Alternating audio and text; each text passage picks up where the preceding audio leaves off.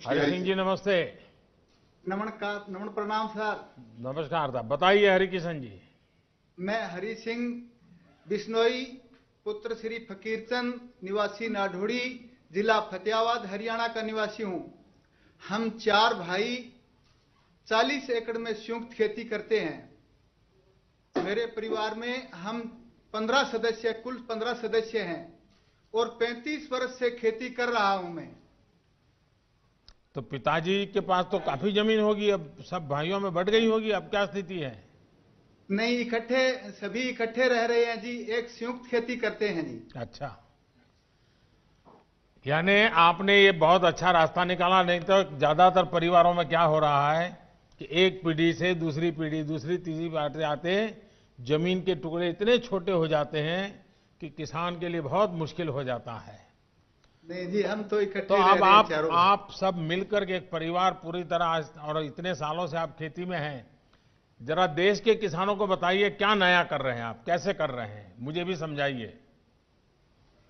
मैं पहले तो धान की खेती करता था जी। उसके बाद अब बागवानी की तरफ़ रुझान है। अब पहले दो एकड़ में बाग लगाया था फिर दो एकड़ में फिर लगाया। अब करके मेरे पास दस एकड़ में बाग है जी। बागवानी की खेती की तरफ़ रुझान है मेरा। बागवानी में क्या क्या करते हैं आप? तीन एकड़ में नींबू की खेती कर रखी है सात एकड़ में अमरूद लगा रखा है जी। और आपका सारा सामान दिल्ली में बिक जाता है?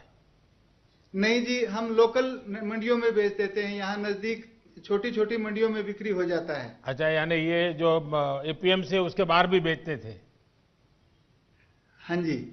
और वो उसको आपको पूरा पैसा मिलता है? पूरा पैसा मिलता है जी। और पहले से ज़्यादा अच्छा मिलता है।